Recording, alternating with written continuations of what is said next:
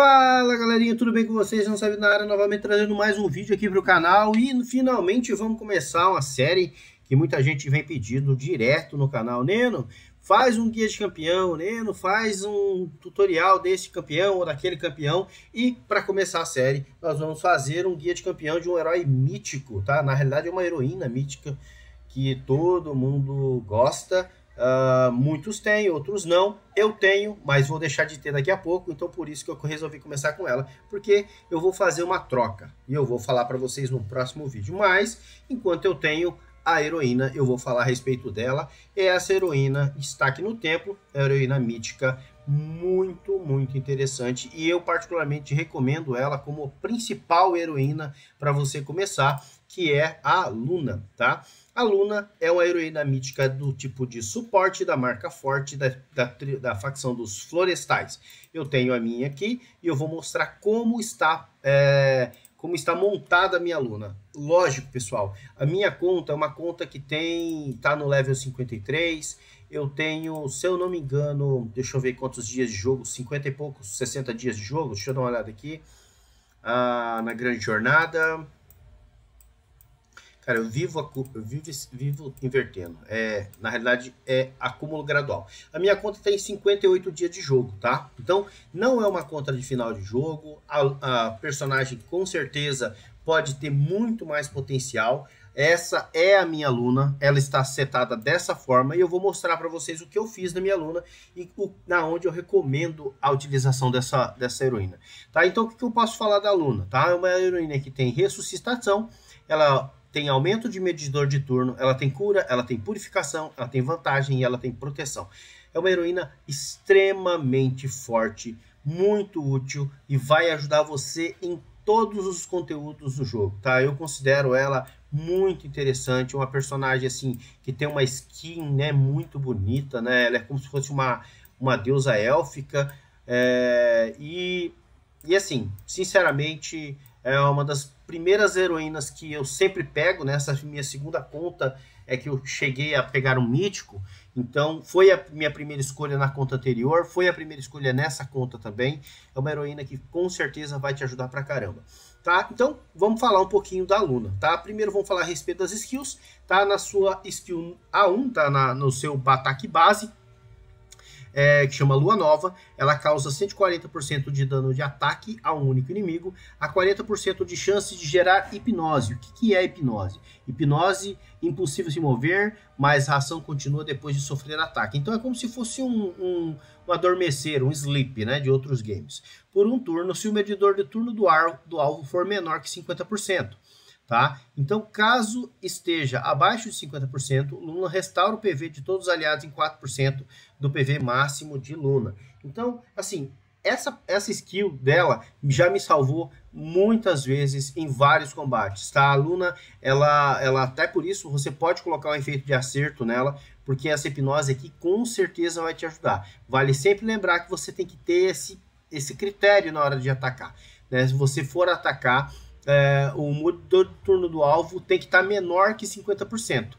É, é, caso esteja abaixo de 50%, é, a, a Luna ela vai restaurar o PV de todos os aliados em 4%. Então, quando você ataca alguém e, você, e esse, e o medidor de turno dele estiver abaixo de 4%, ela ainda vai restaurar os aliados em 4% do PV é máximo dela. Isso é muito, muito interessante e aumenta as chances aqui o percentual para mais, mais para 60% e o PV máximo aumenta em mais 2%, meio por cento aqui, então isso aqui vai para 6% do PV máximo da aluna, tá? Assim, praticamente na primeira skill ela já mostra que veio, tá? Uma personagem que, que vai fazer um controle mínimo ali, vai curar o seu time e vai te ajudar pra caramba. A segunda skill dele, a, a da, da Luna A2, a luz do luar, ela aumenta o medidor de turno de todos os aliados em 15%, e concede desvantagem de resistência, que na realidade é um bloqueio de, de, de debuff, né, a eles por um turno. Enquanto isso, os aliados, exceto o alvo principal,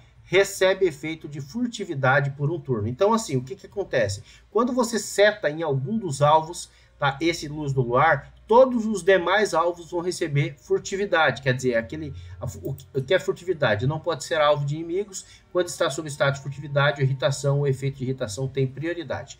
Então assim, a furtividade faz com que os seus, seus personagens não sejam alvo, tá? Então não vai poder tomar debuff. Tá? Isso é muito, muito quebrado. E ela combinando com o Banda faz com que o seu time fique quase que todo imune, tá? Porque você consegue fazer uma, uma, uma configuração para que todos estejam com furtividades e não possam ser alvos de nenhum tipo de habilidade. Beleza? A passiva dela, ela no início de cada turno, um aliado receberá uma camada de cura por dois turnos. Se cura não funcionar nesse aliado, tá? É, Luna tem 60% de chance de reduzir 20% do ataque recebido por um turno se recebido dano direto. Tá? E essa cura ela pode se tornar energia pura, tá? Porque a cura ela cura 5% do PV, mas a energia pura ela vai custar, curar 10% de, de PV. Isso acaba se tornando 100% de chance, tá? Com as habilidades dela. E com a, a, a primeira, com o primeiro exclusivo, a benção, do, benção da luz do luar, reduz o ataque em 40% agora. Então ela vai reduzir ainda mais o ataque sofrido. E com uh, o exclusivo 2, ela vai aprimorar a cura concedida da Luna de energia para energia pura. Quando o turno começa, cada energia, cada camada de energia pura restaura 10% do máximo do invocador. Então, assim, é uma personagem que o tempo todo ela vai estar tá curando, ela vai estar tá, é, colocando é, uma, uma redução de ataque, tá? fazendo com que o ataque que você vai receber seja menor do que o ataque em si que é causado pelo, pelo atacante. Tá? E é uma personagem que com certeza vai manter o teu time é, é, com sustain muito alto. E o ultimate dela é o melhor dos, é, das skills que ela possui. Então ela vai remover até as cinco camadas de desvantagem de DLT, quer dizer, então se você tiver com cinco camadas de DOT, né, seja sangramento, queima de PV, é, queimadura ou veneno, ela vai remover até cinco camadas de todos os aliados e todas as outras desvantagens. Então ela vai limpar cinco camadas, se você tiver mais, ela vai permanecer com essas camadas, mas todas as outras desvantagens. Enquanto isso, concede a eles uma camada de cura por dois turnos, aumenta o ataque de todos os aliados em 50%, ou mais de PV é, em 40% por dois turnos, restaura o PV dos aliados que tem menos de 50% em 20% do PV máximo de Luna, ressuscita o alvo principal selecionado com 40% PV máximo de Luna e aumenta o seu editor de turno em 40% do alvo quando ele está morto. Ufa, vocês viram o tanto de coisa que esse ultimate dela faz? Então, assim, o que ela vai fazer? Ela vai ressuscitar se o cara tiver morto, ela vai aumentar o medidor de turno do cara, ela vai curar todo mundo, ela vai limpar debuff. Então, tudo isso numa única skill, tá? Exclusivo 2, ela vai conceder pura energia, energia pura no lugar de cura, né? Que vai curar 10% ao invés de 5%. E com o exclusivo 3, ela restauração do PV sem requisitos agora, tá? E aumento do ataque acontece ao mesmo tempo. Então, assim, é uma personagem extremamente quebrada. E assim, a Luna você pode usar sem exclusivo. Tanto é que a minha não tem exclusivo e mesmo assim ela ajuda pra caramba. Hoje na minha conta é a personagem que tem o maior poder, tá? Da, é, tanto no mítico quanto a segunda com mais poder é a minha Catarina, mas a Luna tem 114 mil de poder. E esses são os equipamentos que eu estou utilizando na Luna. Vou mostrar para vocês.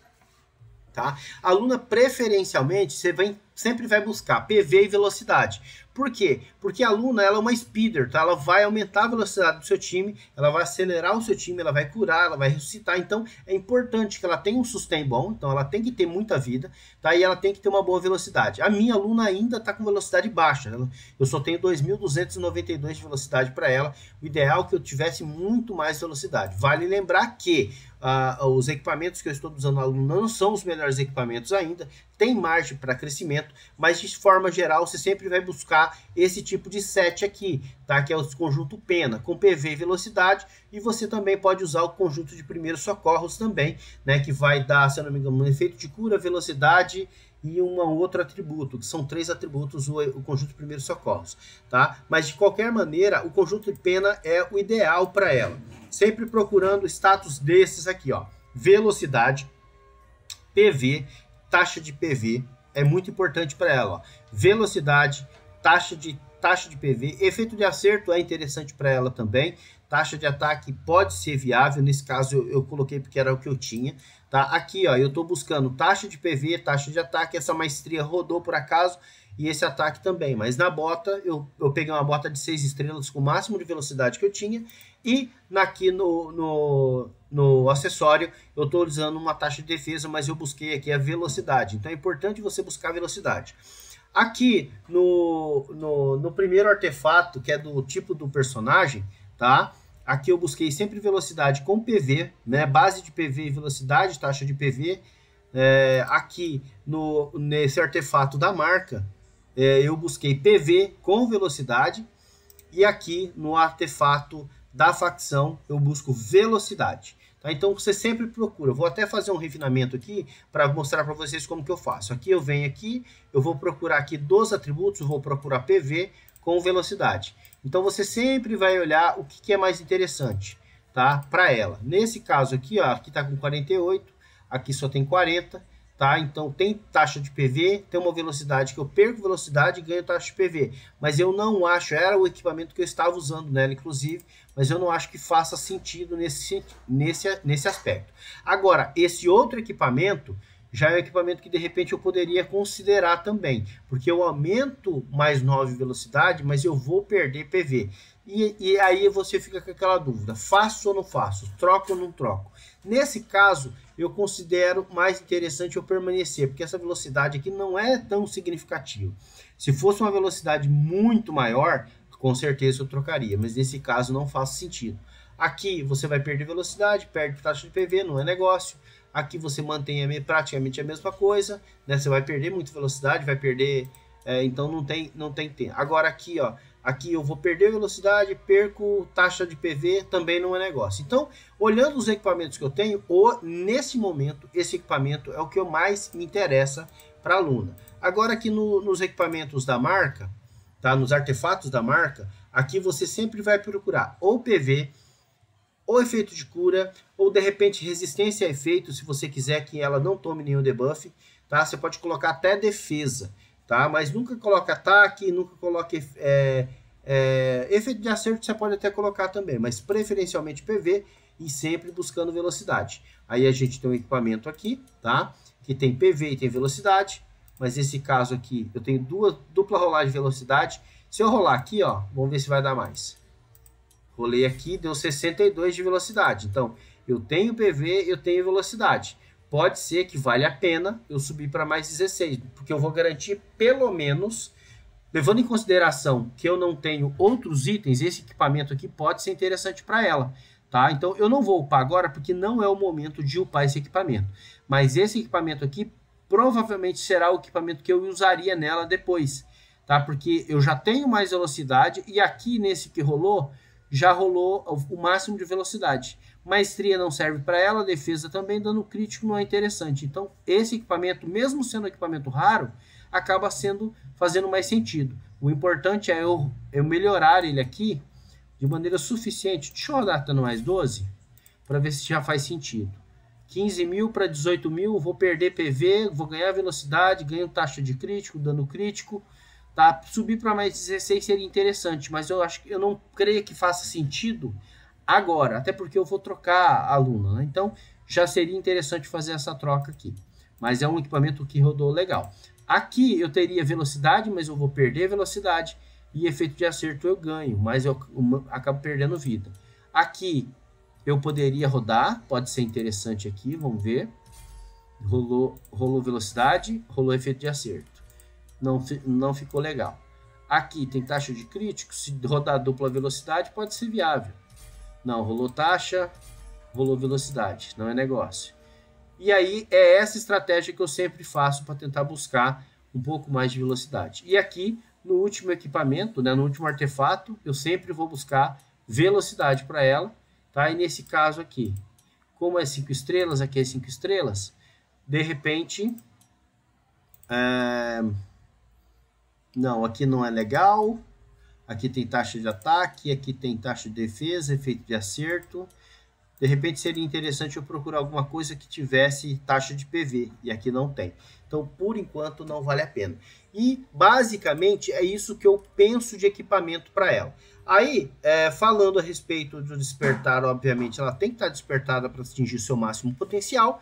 Os exclusivos dela, você consegue sempre com pedras né, de, de fragmentos de herói mítico, acumulou 50, você pode colocar. Eu não recomendo que você coloque exclusivos nela no começo, tá? Tem outros heróis míticos que são mais interessantes, tá? Mas se você tiver de bobeira e estiver utilizando a Luna fizer sentido, com certeza pode ser viável você colocar o exclusivo dela. Agora, em relação aos emblemas, deixa eu te mostrar como que estão os meus emblemas para ela. E agora fica, uma, fica muito mais fácil de você ver os emblemas dos heróis. Por quê? Tem os emblemas recomendáveis aqui, tá? E eu não sei se vocês perceberam que, tipo, tem os emblemas recomendáveis e tem o emblema que eu coloquei, tá? Eu setei ela dessa maneira.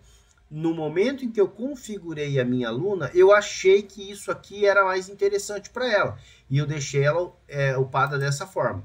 Mas o próprio jogo pode te dar uma alternativa de sugestão para ela. O jogo entende, tá? O jogo entende que para ela efeito de acerto faz mais sentido.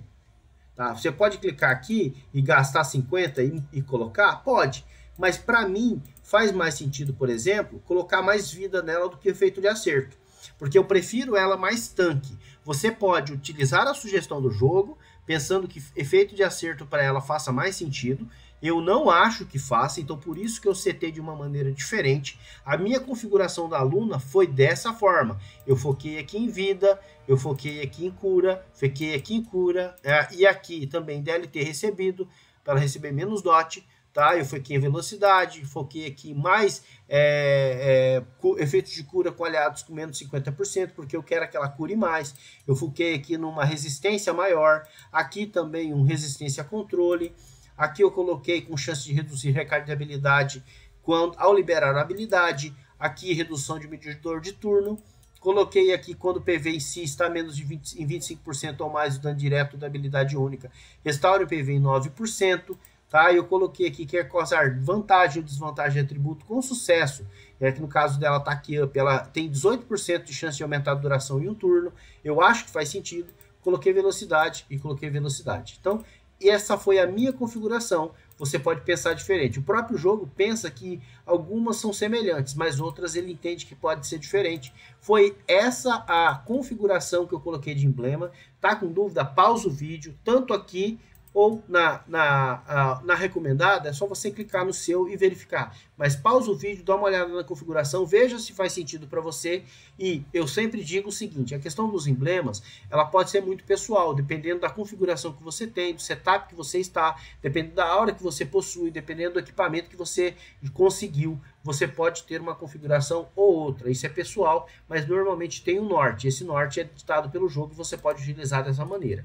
Pensando em aura, tá? Também eu estou com a aura mais básica dela, que é a aura, é, essa aura de efeito de aura de tratamento urgente. Eu ainda não evoluí a aura para ela e não é algo que eu esteja focando no momento. Mas agora você consegue clicar aqui e ver quais são as auras recomendadas. Então você pode ver que a aura que eu estou usando é a aura verde recomendada para ela. A aura azul recomendada é essa de recuperação extra, que restaura o PV em si em 8 até 18% depois de liberar uma habilidade ativa. Então faz com que ela fique se curando toda vez que ela solta uma habilidade. Isso é muito bom porque ela tem um sustain maior.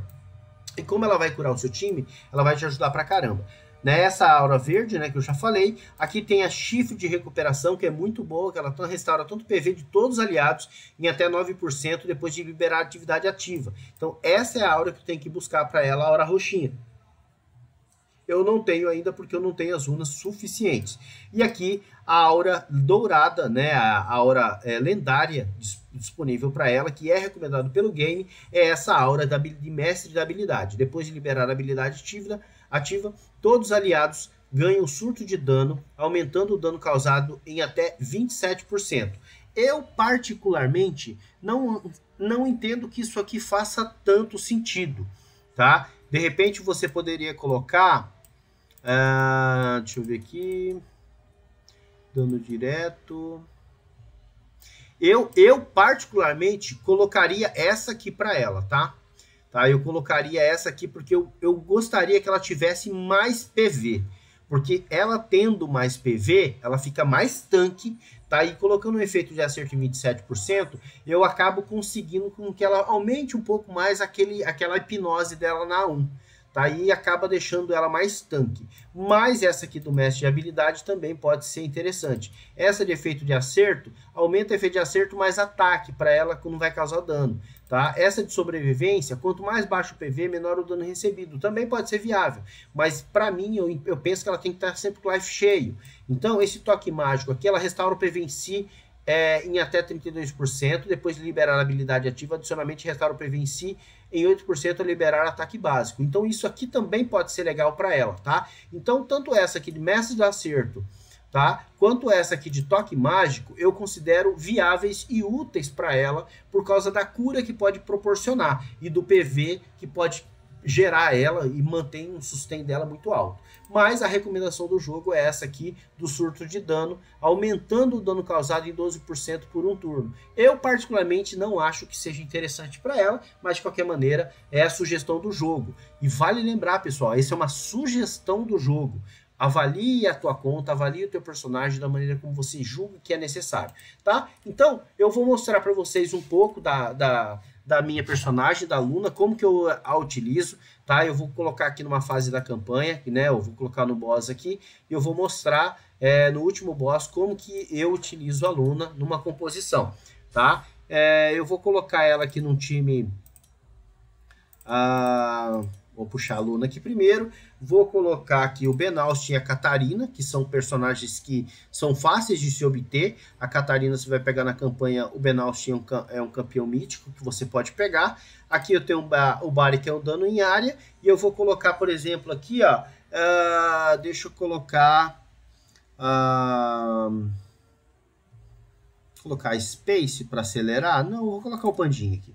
Vou deixar o pandinha e vamos, vamos ver como que vai se comportar. Para que você possa ver o, o, papel que a aluna faz dentro da partida, eu vou jogar no manual e depois eu vou deixar no automático para que você possa dar uma olhada. Tá? A princípio você vai entender o que, que a, a, a aluna faz pelo seu time, tá? E eu já aproveito e falo de outros heróis também que podem gerar alguma, algum benefício para você.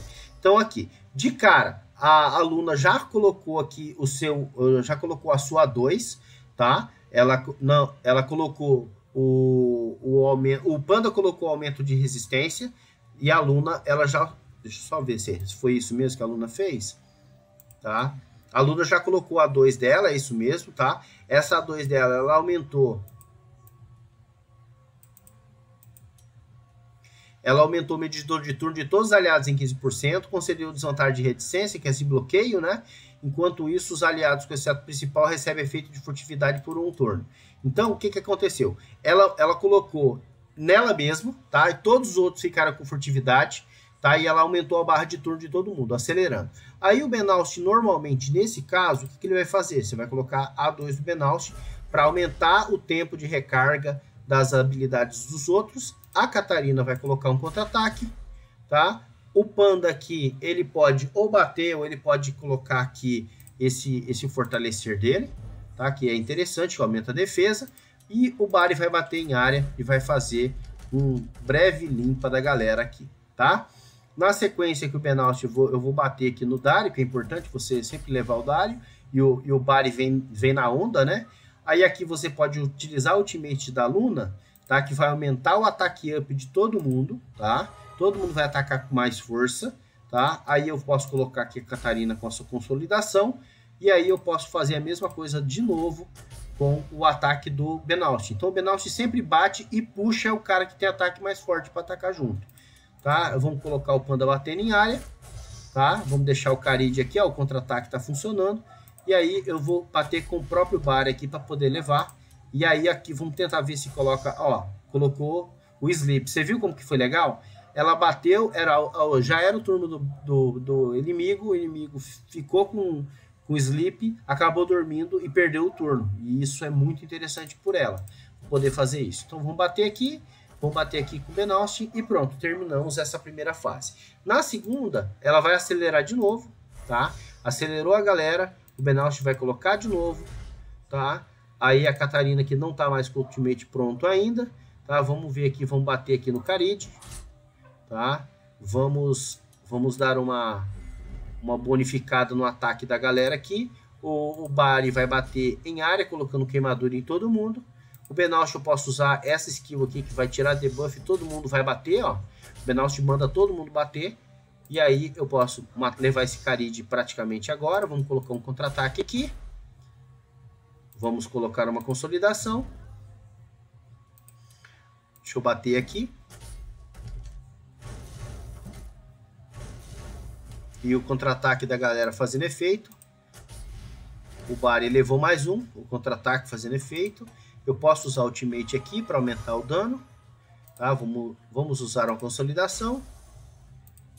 Vamos aumentar o tempo de recarga das habilidades. Vamos acelerar aqui com a, com a Luna.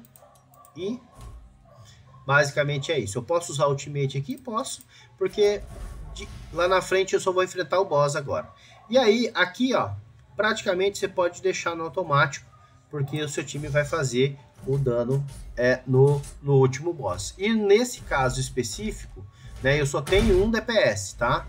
O time tá fazendo. É sempre levar em consideração que a Luna faz pelo seu time.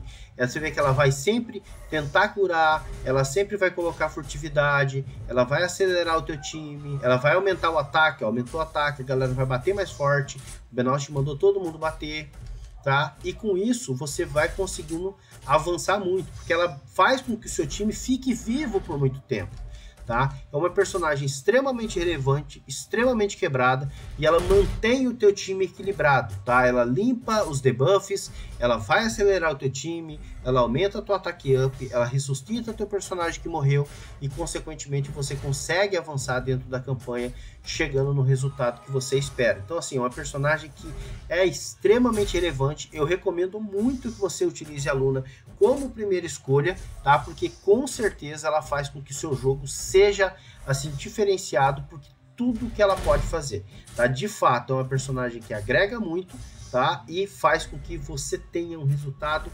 muito, muito interessante. E aqui a gente termina, faz as três estrelas e basicamente a gente consegue fazer o resultado que a gente espera para esse essa composição em função da tudo aquilo que, lógico, todos os heróis que eu já tenho aqui já estão mais fortes e fica muito mais fácil falar, pô, Neno, com esse time também eu consigo, tá? Mas para que você possa ver a significância dela. É a minha personagem que não tem nenhum exclusivo e mesmo assim ela está no mesmo nível dos demais, tá? Uma personagem que está até mais forte que os meus outros personagens, tá? Mesmo sem exclusivo, você imagina o potencial que ela pode obter é, quando você é, constrói ela da melhor maneira. Então, assim, eu particularmente recomendo muito, tá? Que a Luna seja a sua primeira escolha. Até por isso que eu estou fazendo o primeiro guia de personagem falando a respeito dela, porque ela vai te ajudar pra caramba em todo o conteúdo do jogo. Seja no GB, a Luna hoje está no meu time de Guild Boss, tá? Deixa eu mostrar para vocês a minha composição.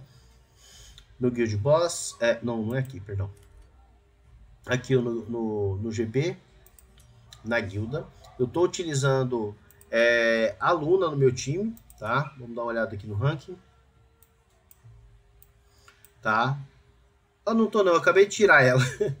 eu tava utilizando, mas olha, você pode perceber que a Luna, ela é muito utilizada no Guild Boss, tá? Muita gente usa a Luna como personagem para acelerar os seus times, para aumentar o seu dano, tá? É uma personagem extremamente relevante e que com certeza vai te ajudar, tá? A você conseguir atingir os objetivos, tá?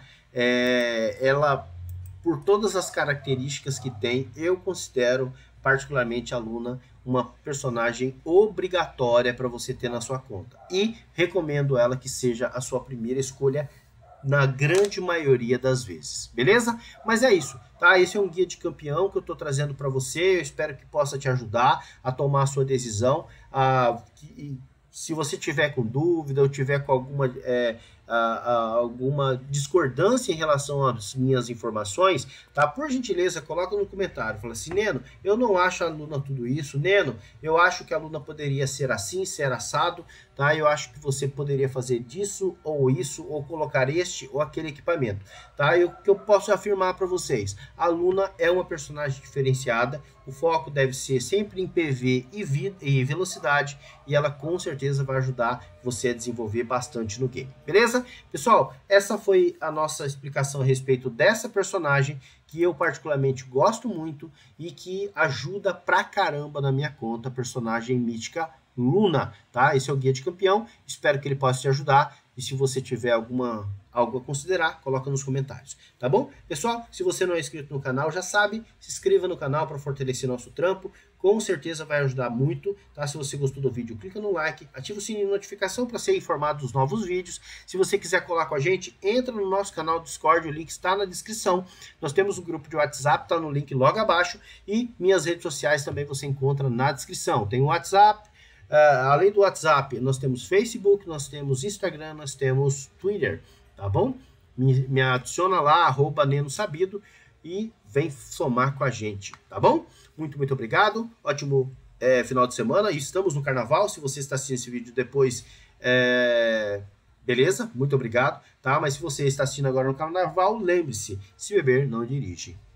Fica com Deus, ótimo dia e tchau, tchau. Fui.